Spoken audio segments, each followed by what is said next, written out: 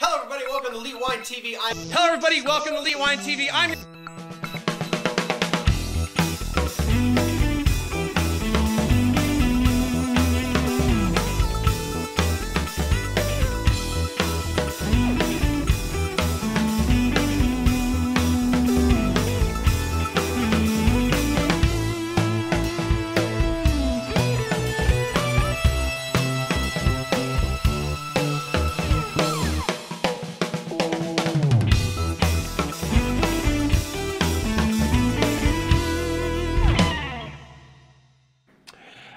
Everybody. Welcome to Elite Wine TV. I'm your host, Mark Fosco, here for another edition of the show. So, this is not going to be a review show. I will be doing recording a couple of those a little bit later, not tonight. Uh, it's more of a kind of an update, 2019 update of what's going on, uh, what I've been doing the past couple months, and what's coming up in the future. Um, I'm also, it's going to be hard for you to see it, but because the lights are going to completely blow everything out. But, um, I'm trying to, and so I've got, there we got photo of all that, and here we'll just do another photo. We'll do the whole shebang here. So, um, as you know, I've been kind of messing around with cameras and what I'm doing, and uh, so right now I'm using the DJI Osmo Pocket. That's I'm actually looking into that camera. As you saw in the photo, I probably just popped up. I've got um, I've got my regular video camera going on. So I've been really debating as to whether or not I want to um, start bringing that camera with me again. Uh, I can. I don't need an. I don't need a power outlet to use it because I have. I, which actually the DJI Osmo is the pocket's actually plugged into it. One of those you know like USB battery things. So I have the type, I have like the right cabling and all that so I can plug the uh, Canon Vixia into that. Um, just in general, like the Canon Vixia just has really just kind of superior everything. Even though it's only 1080p, I'm recording this in 4K, 60 frames a second. Um, the Canon is recording in 1080i, technically, uh, 30 frames per second. Um, but you know everything gets you know set for 1080p, yada yada yada. But I mean, the, the Canon in general has superior everything. Uh, I can control white balance and exposure, whereas the Pocket I can't control white balance. Uh, it's on, kind of an automatic white balance, but I can expo control exposure, shutter speed, and also other stuff that really video doesn't use.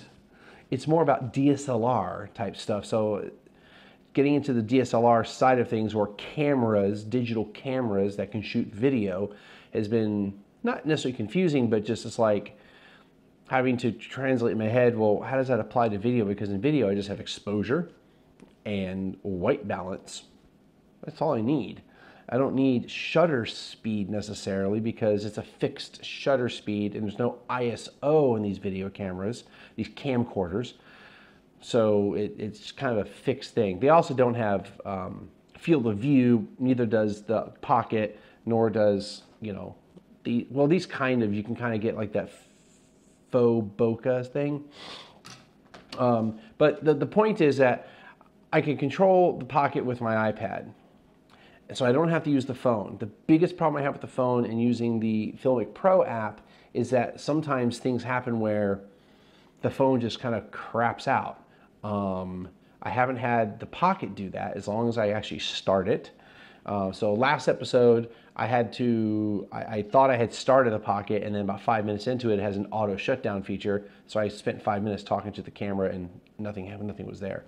Um, so I'm kind of doing that. I'm playing around with, with, with using that. The only thing I don't like about the, uh, the, the Pocket and the newest and latest and greatest, um, uh, which is their action camera, which I like because it has like my Canon Vixia, it has like a you know an LCD screen where I can actually see myself. So I wouldn't need the iPad to look at things, but I, that's fine. But uh, they they only record in four gigabyte uh, segments of video, and then you have to put them together.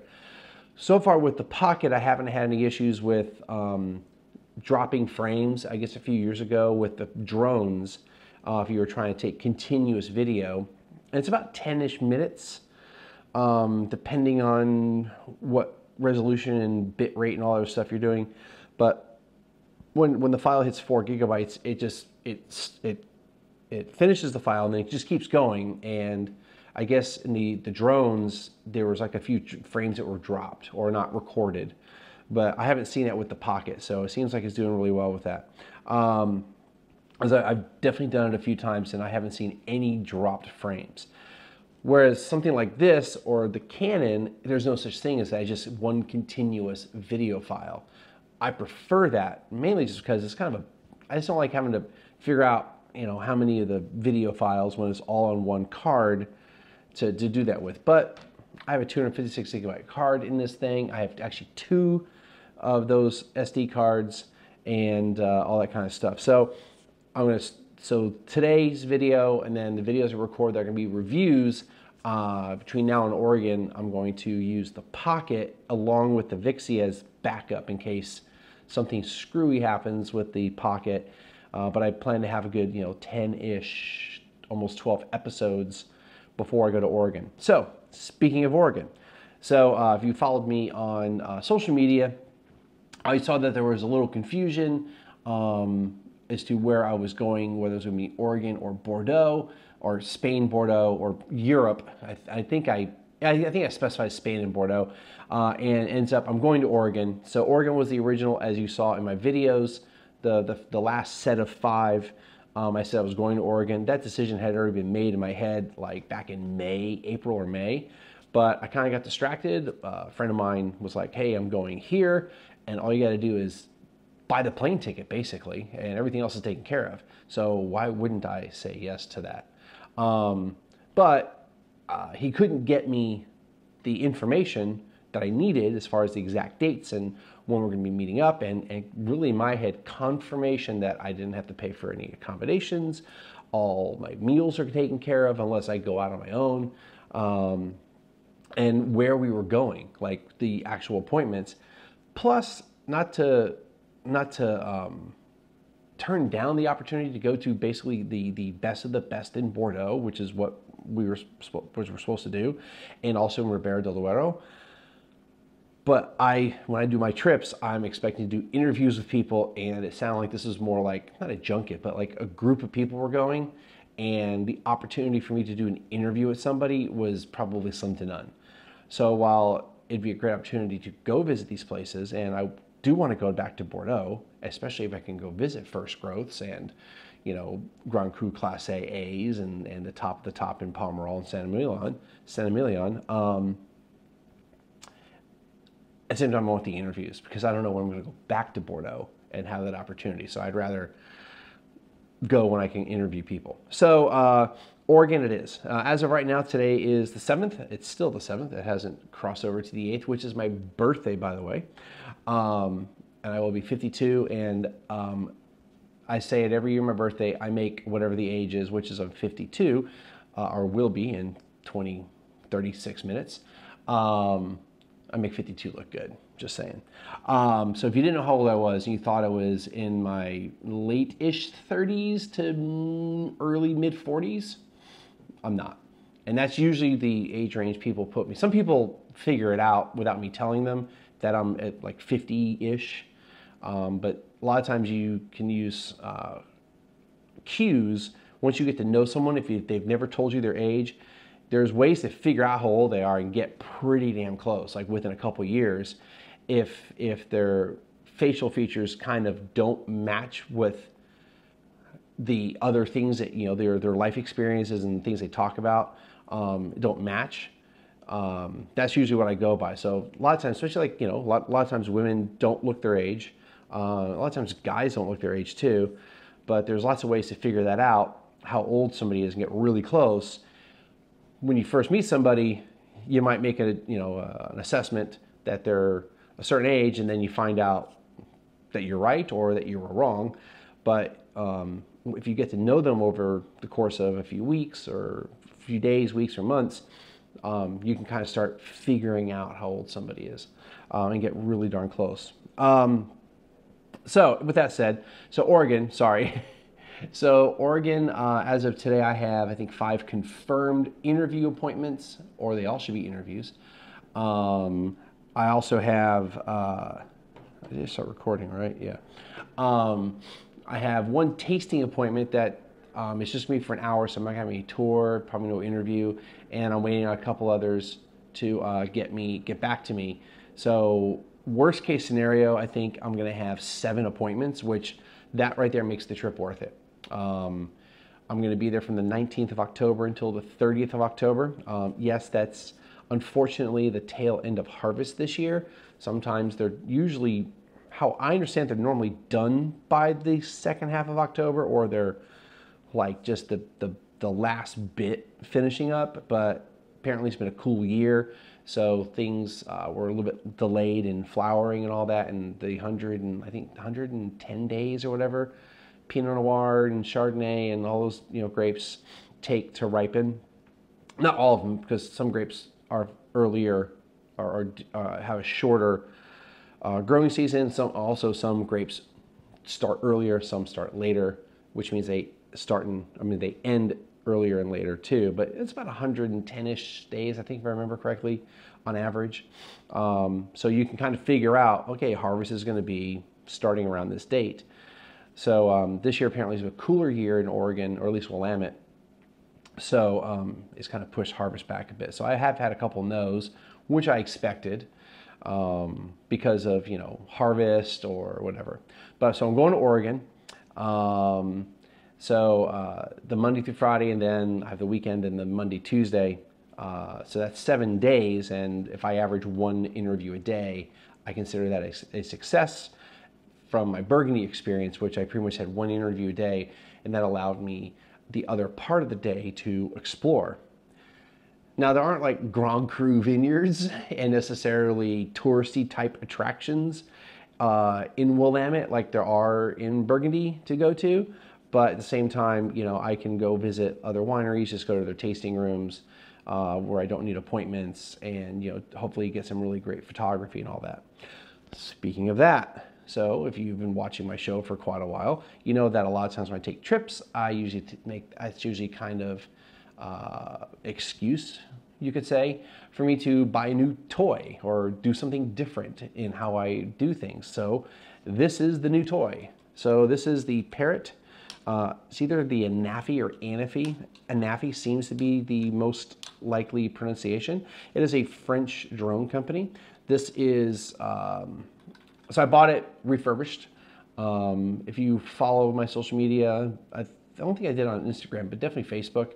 Uh, I had bought one that I had to return it because um, it didn't fully function. And what was the problem was, uh, so in this in this drone, so you see it's foldable, very compact. Um, so with, with this drone, the SD card is right there. So it's kind of a pain in the butt.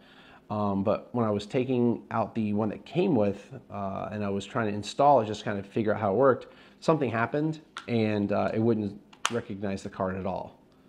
Um, so the Parrot has, um, uh, the, the Anafi has a known issue with SD cards where sometimes you get SD card error, and a lot of people go, just format the card. I'm like, you can't if it doesn't even see the card. It's as if it's not there. So I returned it. I found this one. I paid a slightly less than the other one. Um, the advantage of the other one is it came with uh, a compact case that, that had the drone, it had the controller, uh, and two extra batteries. So th this is the battery I just took off. Um, and two extra batteries, and it was not much more than what I paid for this. But it was kind of hard to find that deal again, so, and I really needed to get the, the, the drone. So uh, this is meant for uh, the show. Um, the goal is to, on my morning appointments only, uh, to take drone footage of the winery and or vineyards um, so I can use as B-roll. Um, if you don't know what B-roll is, that's like the, you know, when somebody talks and they show like video of something else. Um, show B-roll of like when I'm taking the tour or if we go to the vineyards or talk about the winery, you know, pretty pictures for you to see. So uh, I don't know of anyone doing this in video wine stuff other than maybe like Jordan Winery's podcast. They probably have drone footage. I, I haven't watched their stuff, um, but I know they have a podcast. I think they still do it. I, st- I don't watch it um, just because I have other stuff to do. Not not that it's not worthy to watch, but uh, I tend to not watch a lot of other wine, especially wine review podcasts, because I don't want to watch a review of something I might review and and and like go off of somebody else's review. Just like when I read tasting notes, I usually skip over um, the actual notes of what it tastes like. I just look at like winemaking notes and vintage notes and things like that. Um, I do sometimes see ratings, but since I don't do ratings anymore, I just kind of ignore them. I'm like, okay, someone thought it was an 88, someone thought it was a 95, whatever. Um, but anyway, so uh, this is yet another thing I try to do. Uh, I'm doing to set myself apart from what other people do. Now, why is it the only the morning appointments? Well, the reason is um, so if I was just going to use the drone as hobbyist or enthusiast or you know non-commercial, like commercial, like you know commercial venture, then I probably wouldn't have to worry too much um, about having two appointments in the day and taking drone footage of both. Um, but I plan to either Monday or Tuesday, since it's today Saturday, uh, to take uh, what's called the Part 107 certification from the FAA that allows me to be a commercial drone pilot. Um, and once you do that, then you have a lot more restrictions that are imposed on you. Even if you don't take that, if you're just going to be, you know, a hobbyist or enthusiast or whatever, a non-commercial pilot, there's still guidelines that the FAA wants you to um, uh, follow. And so the big thing is alcohol. Now, when I read the regulations, about it if it's not commercial. It just says don't pilot it under the influence of drugs or alcohol. But it doesn't give you like anything else. But for the Part 107, and this includes all pilots, whether it's something like this or your your commercial airline pilot, you know, that you know you're flying Delta or American or whatever, um, they are not allowed to in, ingest, and that's the word they use, ingest alcohol less than eight hours uh, from when they fly. So, you know, if you're scheduled to fly at 8 a.m., then your last drink needs to be at 11:59 p.m. All right, and you have to have a BAC of no greater than 0.04. I think you can have 0.04. I can't remember if it's 0.04 or less, or less than 0.04, which is more strict than driving for the most part. Uh, I think there's one, well, actually, all anywhere in the United States, it's it's more strict. I think Utah right now is a 0.05, whereas most of the other states in the in the country have a 0.08. Uh, and in Europe, uh, 0.05 actually kind of the standard, though there are some countries that are like 0.02 or zero. Um, but that, I digress. The point is that um, when I do my interviews, I'm almost always tasting wine and spitting wine. As you see, when I do my reviews here, I spit. Um, even if I'm only going to do one review for the day, I still spit it. Um, yes, there are times I, I drink it because of it's a you know, special occasion or like Halloween episodes. I tend to not spit those anymore. I used to all the time. Now I'm like, I'm just going to drink because I'm having fun. Um, but I'm also not going anywhere after I record this stuff. At the wineries, excuse me, about, I'd say nine times out of 10, I spit 100% of everything, but occasionally they pull out an awesome wine and I'm gonna like, well, I, I don't wanna spit it out. So even if I spit 100%, the problem is that um, I haven't ingested the alcohol because I spit it out, but my body has absorbed the alcohol. A fine line of definition of words, right? But in legal terms, words are very important and sometimes meanings can be misinterpreted. And I actually went to the FAA, uh, and I had some people on a drone forum when I said I, I asked the FAA because nobody could give me a straight answer, like a legit, like definite answer on this. Um, and the FAA was kind of like, well, um, you're not necessarily breaking what they call the bottle to throttle rule because you haven't actually swallowed it, but if, say, you have an appointment later that day and you're using the drone and you crash into something or you uh, hurt somebody with the drone, um, so if it's above $500 in damage, not to your drone, because you know they don't care about your drone, they care about like you fly into a building and you do more than five or $500 or more in damage, you have to report it to the FAA. Or if you seriously injure somebody, like you know if you bump into somebody and they get a scratch, you, you don't have to report anything because notice I didn't have to go to the hospital. You didn't have to like perform any like major first aid or anything like that. Like you know, there's no kind of almost a no harm no foul on that. Same thing with like you run into a building, as long as you didn't do a lot of damage, who cares? Um, well, I mean, the FAA doesn't care. Uh, I mean, you should care, but the FAA doesn't care because it's a minor incident and they don't need to be bothered with it. Um, so then they investigate you. The NTSB comes around because they handle all, you know, air accidents, right? And that would be an accident. Uh, they ask you what you did, and you say, well, I was, you know, during the day I did this, or they see your videos and they go, oh, they put two and two together. Hey, homeboy was at a winery and he spit, but did he really spit all that? And did he drink anything off camera? So while we can't figure out his BAC, if it doesn't matter because if he had one drink, regardless if his BAC is 0.04 or under or under 0.04, he's broken the eight hour rule. And then now you get into legalities and fines and suspensions and potentially never being able to be certified again. So uh, they did say, you know, perception is reality in the email to me, um, which I had someone go, well, that's not a legal thing. Like, well, a lot, a lot, that happens a lot of times in cases. The perception, I mean, there's facts, but then there's also the perception of the facts. Um, and uh, I'm not going to risk that. So when I do my morning appointments, the any drone footage will be done prior to the interviews. Uh, and then if I do have an afternoon appointment um, and I didn't have a morning appointment, I mean, if I had a morning appointment and then I have an afternoon appointment, then there will be no drone footage, but I'll do all my other normal, like, you know, use the pocket and take pictures and all that kind of stuff. So I'll have that type of B-roll, but I won't have any aerial footage. Uh, and I had to be very clear with everyone for this go around that I can't do that.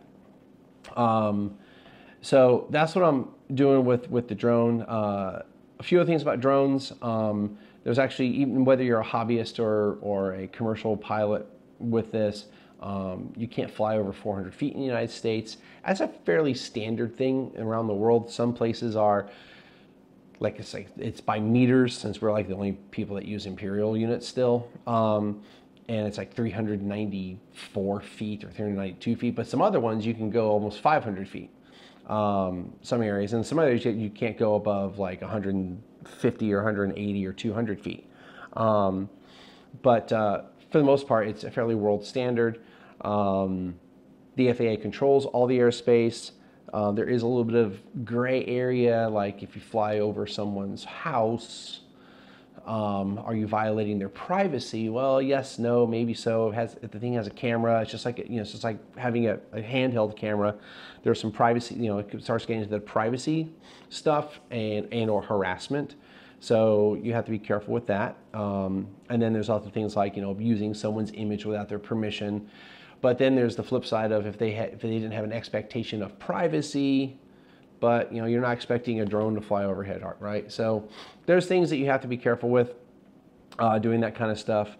Um, and how close you are to an airport, and does it have a control tower, tower or not, and you know restricted airspace. You can't fly in national parks without permission. A lot of these things you can get permission ahead of time from the FAA. Uh, and they actually have an app, well, not their app, but there's other apps out there that you can get like instantaneous approval to like fly and control the airspace as long as you don't go above 400 feet, or it might be 200 feet because you're like say two miles from the airport. Um, so there's a lot of little things you can't do with a drone, but the, the, the point is that um, I got this so that I have the ability to do that for the show. Now, do I make money at this? No, um, but I could. Number one, I could make money from YouTube, though the FAA is, re- FAA is really not going to come after me if I didn't have the Part 107 license because I made like five cents off of a video. It's not worth it, right? But let's say I you know have a portfolio and I go to wineries and um, maybe maybe I don't get an interview with them, but maybe I happen to be in the area and I was like, if you want me to take footage of your winery and I, I do a commercial venture with them, I get paid for that, okay? Or wineries in Texas because they're my backyard effectively.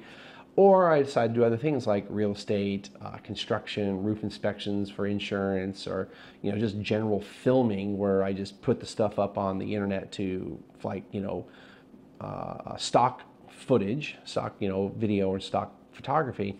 And you start making money off of that, you have to have a license, or I think it's a certification. Officially, certif- you be certified, not licensed. It's kind of different.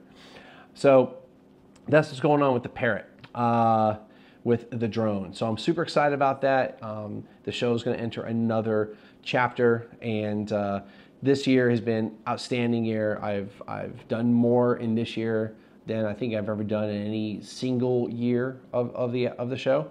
Um, I've definitely done a lot more travel than I normally do in in, in a year. Uh, I haven't missed a week as far as um, putting content out since mid December of 2018. Uh, and the way my schedule is going to be set up between now and the end of the year, I'm not going to miss anything. As a matter of fact, I expect episode 500 to be the New Year's Eve episode. So I'm uh, planning on having some, I'm not going to go crazy on champagne, but having some cool sparkling wines uh, to kind of celebrate that. Um, I've moved up to twice a week. If you've been watching the show, you know that I've done that uh, for the past, uh, what, month and a half now, uh, doing twice a weeks. Uh, specials like Halloween, Thanksgiving, Christmas, New Year's, they, they will be the only show for that week just because holidays kind of fall on weird days. Some of them are a specific day of the week, some of them being a date specific thing, it shifts the day. So instead of like trying to figure out, well, you know, a Monday, Thursday thing, uh, say like Halloween, right, this year is a, is a Thursday. Well, if Halloween was a Monday, I would normally put out the episode the, the prior Monday, so there's a whole week to build up the Halloween. Because if you want to buy the wine, and if I do any pairings, and you're having a Halloween party, or the same thing with other with you know other holidays, you're gonna have a party. I usually try to put the episode out with enough time that if you watch it when it first comes out, you can buy the wines. So when it's just like regular reviews and uh, interviews, I'm not really worried about the Monday Friday thing because yeah, it's it's different. Um, but yeah, so I with with that said and that type of scheduling, I yeah, 500 should be New Year's Eve episode. So I'm excited about hitting 500. I'm not doing anything. Yeah, I'm just doing that. I'm not going to a venue. I'm not doing a live audience thing for that. I did that for the 10th anniversary. If you haven't watched that, go check that one out. Uh, I think it's actually one of my best uh, video productions I've ever done for the show. Um, Texsom this past month in August was amazing as usual. Uh, you know, I did skip last year, and for long-time viewers, or at least viewers for the past year, um, or at least who viewed around that time, knew that I had a heart operation, and the recovery kind of just got in the way with Texsom. Um, I do have to say that uh, you know every year Texsom gets better. Um, and this year definitely was better than the last time I went two years ago. I don't know what last year was necessarily like, uh, but I, I do have to say I'm almost positive two years ago. Um, if you put down you're available all day, they didn't necessarily schedule all day like they had in years past, um, which was kind of a welcome break. Um, but a lot of those because um, because they'd gotten so big that they couldn't necessarily accommodate. They, they, they, they feed you not every day, not like the conference days, not necessarily, but those the days leading up to the conference where you're doing all the prep work. You know, they're feeding you lunch and dinner. Uh, used to be also like legit breakfast, but they kind of had to scale that back because you start getting too many volunteers. Um, so two years ago, they they said, okay, if you don't work a certain shift, then you're on your own for the lunch or the dinner. Um, but that meant you you like didn't have to work. It's you know 15 to 18 hour day. Well, this year. Uh, I don't know if last year they were doing it, but this year I was working 15 to 18 hour days and I didn't take my contacts out. Um, so I wore my contacts for like a week straight. Um, so like I didn't take, I wore my contacts yesterday and I just, I went to bed in them. So I haven't taken them out today and it's, it's you know, the lights are making it kind of fuzzy right now. So I'm definitely gonna take them out when I get done recording this. Um, but uh, while it's you know and, and i'm not complaining about working those long hours i mean every other year i've done it it was just that one year we're like oh okay uh, and I was kind of expecting it this year. But um, they are great to work those long hours, but at the same time, I kind of wanted to be able to maybe like have a couple mornings I didn't have to be anywhere um, in the morning. uh, or maybe have specific nights off. And trust me, a lot of people do that. You know, when you when you sign up, you say, "Hey, I'm available for these day parts on these days." You know, if you put all day, they said you may be scheduled all day. Well, you are scheduled all day. Uh, but a lot of fun, and it was great to be back there. Um, it was great to help out. I got to pour, uh, got to pour one of the seminars, which I really never gotten to pour seminars before. Uh, I got to get in. I got to sit in on a the what they used to call the rare, uh, the rare and something. Now they just call it Somm Foundation, but um, so like vintage wines from classic areas and classic producers. So I got to sit in on that one um, and just enjoy it. It was also like the last seminar of of that. You know, it was the last time slot of of the of the uh, conference uh, among other seminars. So I definitely enjoyed those wines, and uh, I, I, nothing bad happened. I didn't have I didn't have any like knee injuries like I had like three years ago. Um, unfortunately, I did not compete. I was only an alternate, which is fine because you know that meant I didn't have any extra um, uh, stress in trying to do that. But I did take the Saturday off like I had already planned. Um, but I didn't do a spa day. I just kind of relaxed. Actually, I had to go buy clothes because I left my hanging sack with sport coats and nicer pants and button down shirts at home. So that Saturday, I went out and bought polos and nice pants and and uh, sport coat. So uh, so you know, I got more clothes out of the deal. Um, and I also got to watch soccer, and I got to just kind of, and I got to go to a friend's uh, restaurant that he works at and sit at the bar and drink some really cool stuff and eat some great food. So um, if I'd worked that day, I wouldn't have been able to do that. So it was uh, definitely uh, cool to be like, hey, I want a day off, or I want like a certain, like say maybe a certain night off, so I can like if you have friends in Dallas or you just want to go do something, you want to go out and do something different from the group, um, you can do that. But um, yeah, the, the event, uh, I love the direction Texsom has gone and I just think it just is better and better and better. And I look forward again next year to doing it. Uh, I'm going to try to go to the Texas International Texsom International Wine Awards, which is also in Dallas. Texsom owns that. It used to be the Dallas Morning News or Dallas Times Herald. I can't. One of the Dallas papers had a, a wine award for a long time, and Texsom basically bought it. Um, so they run it. And That's in February. So I hope to go back up there and volunteer for that and um, and all that kind of stuff. Let's see. Uh, anything else for the rest of this year that I want to talk about? I don't think so. Um, it's a half hour episode, so thank you for uh, uh, hanging out with me. And uh, I'm trying to think if there's anything else. I thought there might be one or two other things. No, other than that, uh, my day job is great. I work in retail, which I think I've mentioned before. So I'm really enjoying that. I've been there for almost seven months now. And uh, so the honeymoon period is officially over. And I still love working there. I still love going to work every single day and being more of a sommelier than I've ever been at a restaurant.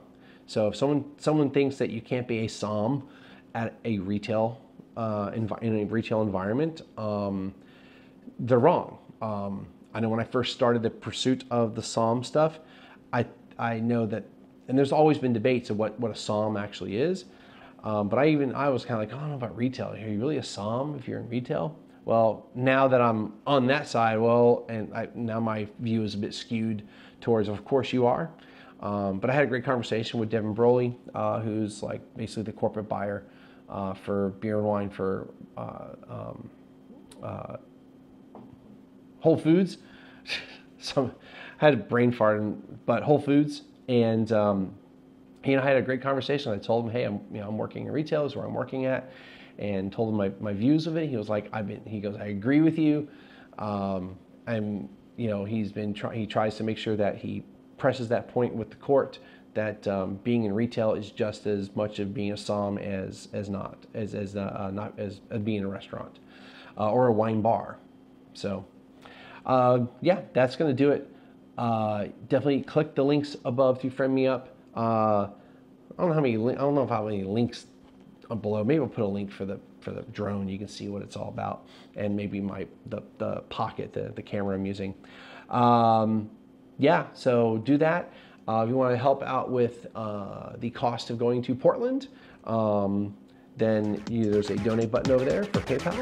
And uh, we'll see you again next time.